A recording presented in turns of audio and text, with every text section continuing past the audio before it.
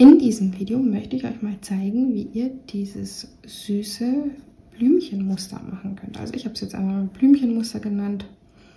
Das sieht so ein bisschen für mich danach aus. Ähm, das ist einfach mit ein paar Zugmaschen äh, wirklich, wirklich einfach zu machen und ähm, ja, macht echt Spaß und strickt sich sehr, sehr, sehr schnell. Wie ihr hier sehen könnt, ich habe tatsächlich das Muster Toe-Up gestrickt. Ähm, einfach damit die Blümchen quasi dann so nach oben schauen. Denn wenn nicht, ich zeige das mal, also wenn ihr quasi Cuff Down strickt, also von oben anfängt, dann zeigen die Blümchen so nach unten. Sieht auch schick aus, kann man auch machen. Ich wollte sie, wie gesagt, äh, nach oben gerichtet haben. Ähm, daher habe ich ähm, Toe-Up angefangen. Ich habe hier schon meine Spitze, die habe ich ganz normal nach meiner äh, Anleitung, habe ich ja auch eine hier auf, äh, auf YouTube, kann ich euch das Video mal verlinken. Ähm, die habe ich schon gestrickt, die habe ich tatsächlich in einer anderen Farbe gestrickt. Einfach weil ich finde, mit dem Grün und dann mit der anderen Wolle zusammen sieht das wirklich aus wie so eine Blumenwiese. Ich beginne jetzt mit meiner quasi Blumenfarbe so nenne ich jetzt mal diese Hauptfarbe hier. Ähm, und äh, zunächst einmal stricke ich sechs Runden einfach glatt rechts.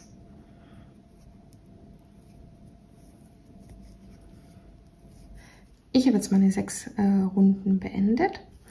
Ich glaube, ich hatte ganz vergessen zu sagen, ich habe 60 Maschen angeschlagen. Das ist auch, ähm, also am besten man hat eine, eine Anzahl die man durch 10 teilen kann. Dann geht sich das Muster am allereinfachsten aus. So, und jetzt in der siebten Runde fangen wir an mit diesen Blüten. Wir stricken zunächst mal zwei Maschen rechts. Und jetzt stechen wir quasi tiefer. Und zwar drei Runden. Also eins, zwei, drei. Und nicht in die Masche, sondern eine hier rüber. Quasi da stechen wir einmal ein und holen uns hier einmal den Faden da raus. Könnt ihr ruhig hier hochziehen. Dann stricken wir die zwei Maschen ganz normal rechts ab.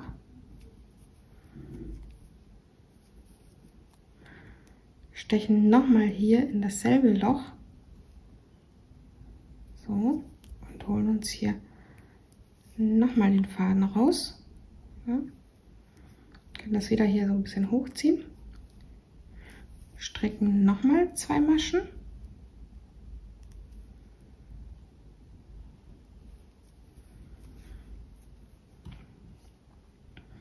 Und jetzt wollen wir hier aus dem Loch quasi nochmal einen Faden ziehen. Jetzt wird es schwierig mit der Nadel, deswegen steche ich dann immer die linke Nadel hier rein. Halte das so fest, nehme den Faden hier quasi einmal rum dann kann ich hier nämlich hier, ja, jetzt soll es gerade nicht. Also das ist nicht ganz so einfach, aber man kriegt das dann mit etwas Übung dann schon hin. Hier könnt ihr so ein bisschen sehen, seht ihr, genau das ist der Faden, den ich dann hier rausziehen will. Und dann zieht ihr den wieder so ein bisschen lang. Und dann könnt ihr hier schon sehen, haben wir schon die erste Blüte. Dann als Abstand nehmen wir jetzt sechs Maschen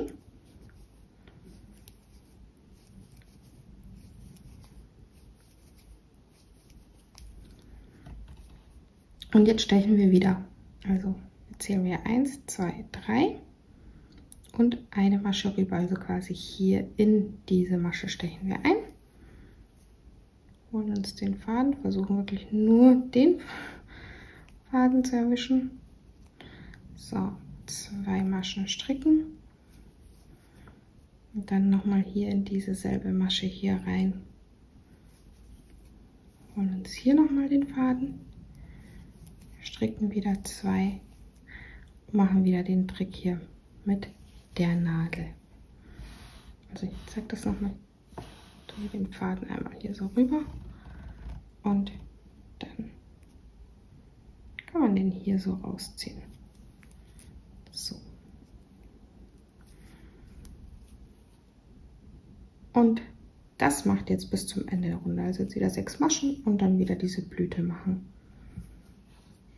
Dadurch, dass wir jetzt hier Maschen äh, rausgehoben haben, haben wir natürlich jetzt zu viele Maschen auf der Nadel. Das heißt, in dieser Runde nehmen wir jetzt wieder Maschen ab. Wir stricken jetzt wieder zwei Maschen, bis wir quasi zu unserer Blüte kommen. Und jetzt stricken wir die ersten zwei Maschen zusammen. Also das heißt, das ist die, die wir ausgehoben haben und die hier. Die beiden stricken wir jetzt zusammen. So, dann stricken wir nochmal eine ab. Stricken die nächsten zwei zusammen.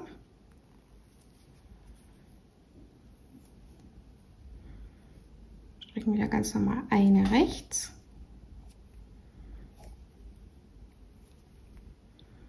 Und stricken jetzt wieder die nächsten zwei zusammen.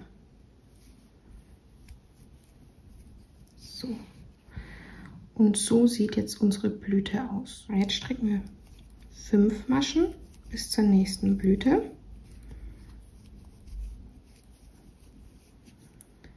So. Und jetzt ist wieder die ersten zwei Maschen stricken wir rechts zusammen. Dann eine Masche rechts dann zwei Maschen rechts zusammen, wieder eine Masche rechts und jetzt wieder zwei Maschen rechts zusammen.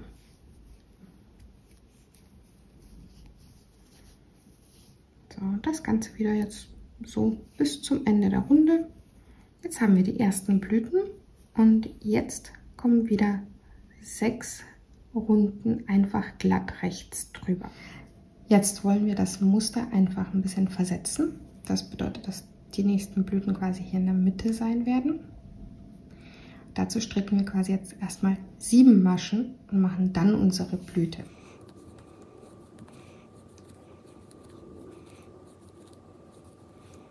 Die Blüte ist wieder ganz normal wie vorhin auch. Also wir gehen hier 1, 2, 3 Reihen runter und eine, Masche rüber, also hier in die.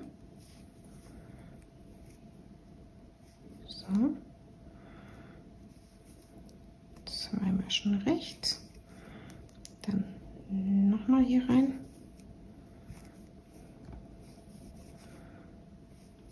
Zwei Maschen rechts. Und hier einmal durch.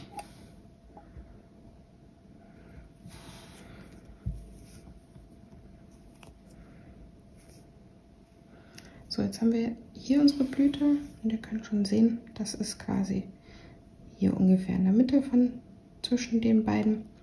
Und jetzt sind wieder sechs Maschen Abstand dazwischen.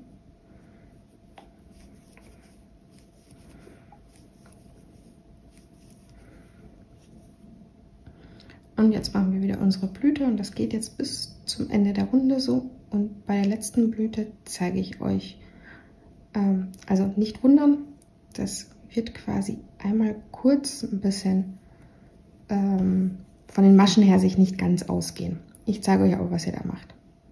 So, ihr könnt sehen, ich habe hier schon meine Blüte angefangen, habe schon die ersten beiden Schlaufen quasi abgehoben. Und jetzt würden nochmal zwei rechte Maschen folgen. Und hier ist aber quasi meine Runde zu Ende.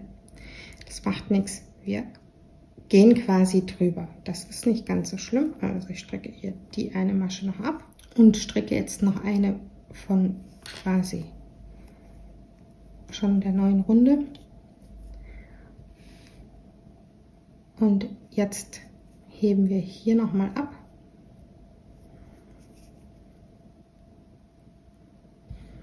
Dazu gehe ich jetzt tatsächlich mit der linken Nadel hier rein.